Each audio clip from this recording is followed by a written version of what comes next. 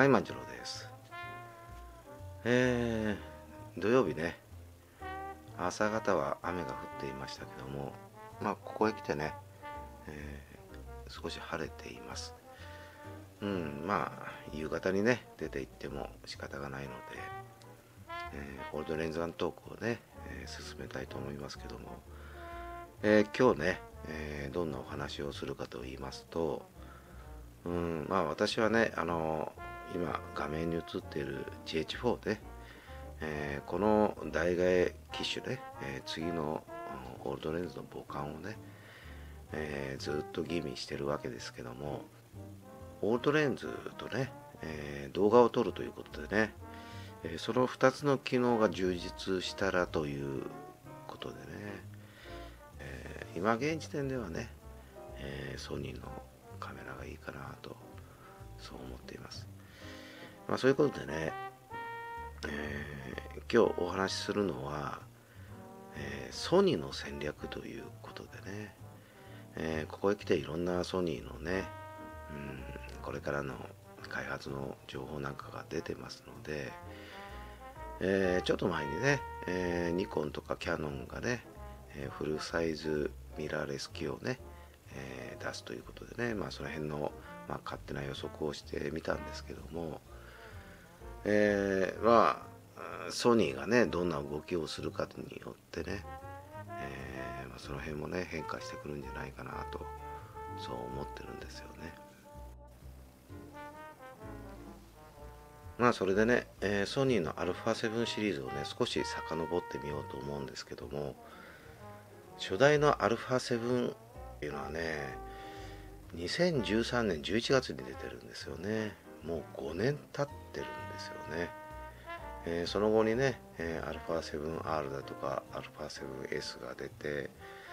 えー α7-2 が2014年の12月に出てますでね、えー R も、うん、S もね2型が出て、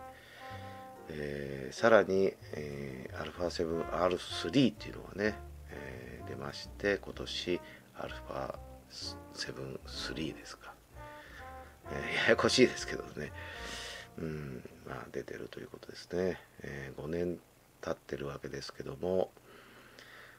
えーその間ね、えーフルサイズミラーレスっていうのはねソニーの独断場なんですよね、え今でもね、えフルサイズミラーレス機っていうのはね、えソニーしかないわけで、えーまあキヤノンニコンがね今必死になって開発してるということなんですけども。うんまあソニーがね次考える手というのはね相当ねまたかぶせてくるようなものがね出てくるんじゃないかなとそう思いますよね。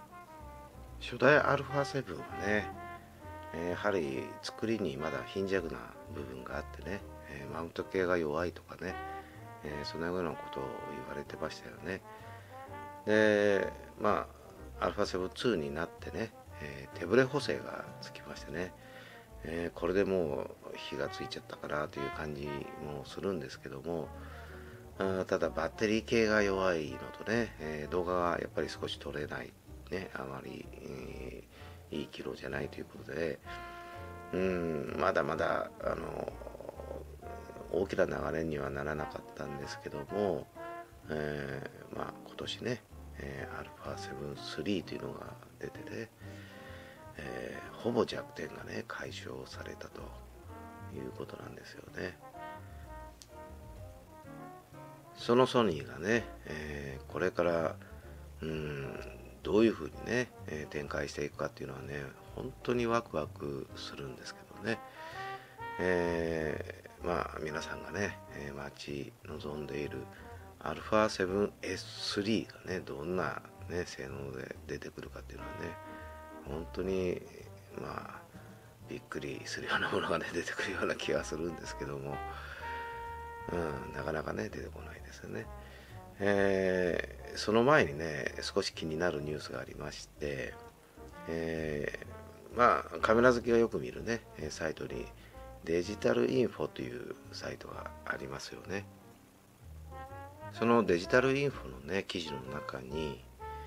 えーちょっとね、えー、注意を引く、うん、記事が一つあります、えー、それはね、え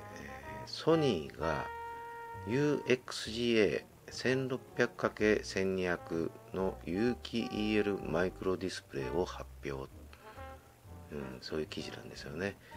これはあのファインダーにつくマイクロディスプレイですよね。EVF に使うね、えー、ファインダーの、うん、ディスプレイなんですけどもなんと 1600×1200 というとね576万ドットなんですよね。すごいねもう数値なんですけども、えー、それまでにね、えー、世界最高のビューファインダーというとねエプソンがね、えー、作っていた SXGA プラスっていうね 1400×1050 っていうことで、うん、441万ドットがね、えー、最高だったわけですよ。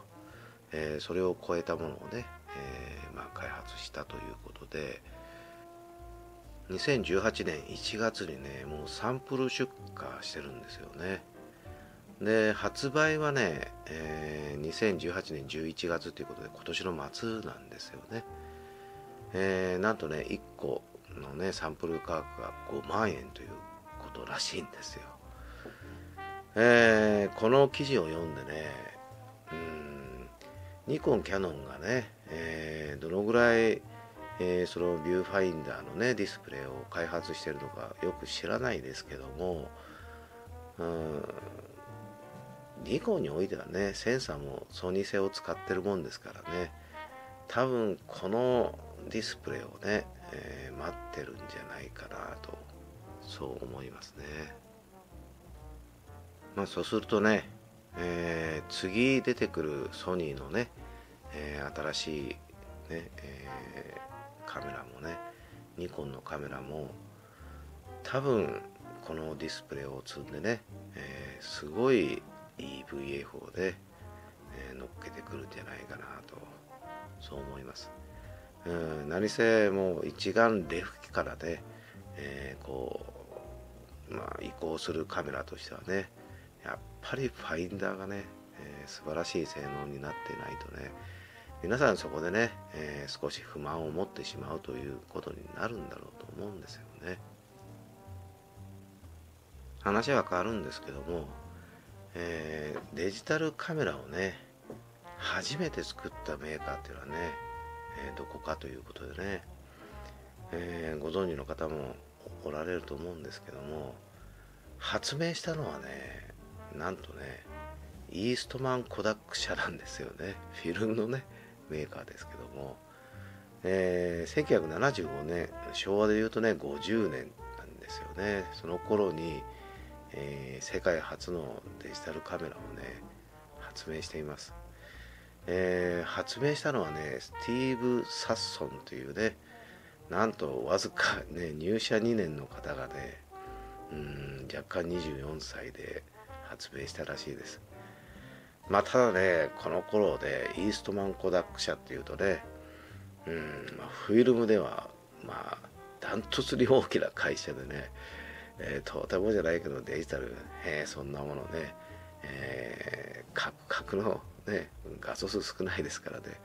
写真がね、ものになるかみたいな話でね、えー、完全に没化されたんですよね。で、ただ、その後にね、えー、実際に発売したのはね、えー、どこかっていうことなんですよね。実際にね、えデジタルカメラを、うん、まあ、発売したというとなるとね、えー、実を言うと日本のメーカーなんですよね。えー、それは富士フィルムですよね。うん、ここでもね、フィルムメーカーが出てくるわけですよね。1988年にね、ドイツのフォトキナでね、えー、フジックス DS1P っていうね、名前で、えー、出しています。大きなね、フルメーカー2社がね、先駆けて作ったデジタルカメラっていうのはね、うん、まあ日の目を見なかったんだと思うんですけども、あまり早すぎるっていうのもねう、まくないですよねまあそこへ行くとねソニーというメーカーはねうんまあ次から次へとね、えー、こう展開していく戦略っていうのは素晴らしいですよね。まあ、一時期ね、えー、ソニーも低迷した頃ありましたけどね、えー、ソニーの真似をしたアップルがね、えー、世界的企業にね発展したということでね、えどうしても会社っていうのはね、あのあまりこう、うん、順風満風だとねやっぱ危機感が薄れて、えまあ、他者にねひっくり返されるみたいなことが起こるんですけどもまあそんなところにねあのニコンキャノンも来てるんじゃないかなとそう思いますよね。うん、まあキャノンに至ってはね、えー、現時点でね、えー、出荷台数1番のメーカーですからあいやまだまだ OVF が使えるようで、え簡単にはね、えー、たくさんのレンズ群をね、えー、こう用意することができないよということでね、えー、なかなか重い腰を上げなかったんですけどね、うん、まあここへ来てるねソニーのこの、うん、進撃というかね素晴らしい、え展開を見るとね、うん、あまりこうね、えー、うん、油断してるとひっくり返されてしまうんじゃないかなとそう思いますよね。まあキャノンのね、えー、いろんな情報を見てもね続々とね新しい技術を投入してね、えー、開発はしてるみたいですから、まあ、相当なものがね、えー、出てくるなとは思うんですけどもただあのどうしても越えなきゃならない山がね、え従来機を食ってしまうというね、うん、まあデジタル一眼レフカメラを食ってしまうミラーレスっていうね、えー、カメラにどこまでね、うん、こう、うん、集中できるかっていうのはね本当にね社内でもう葛藤するんじゃないかなと思うんですよね。その葛藤が足を引っ張ってね、うん、ここまで来ちゃったのかなとそう思いますね。えー、まあ、ソニーはね、えー、さらにね、えー、オートフォーカスも、うん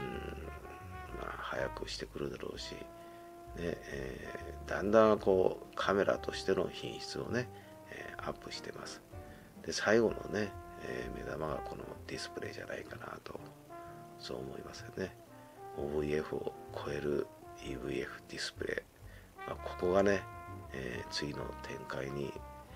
なってくるんじゃないかなとそう思います。はい、えー、そんなことでねうんソニーの戦略うんちょっと語ってみましたけどもまあこれはね私が勝手にね予想してることであってね、えー、まあ、本当にソニーがねそういうふうにしてくるかどうかはわからないですけどもね当たらずとも遠からずというところじゃないんでしょうかね。はい。えー、この動画がね、良かったと思う方は、グッドバックをね、えー、それから登録の方、ぜひよろしくお願いします。万次郎でした。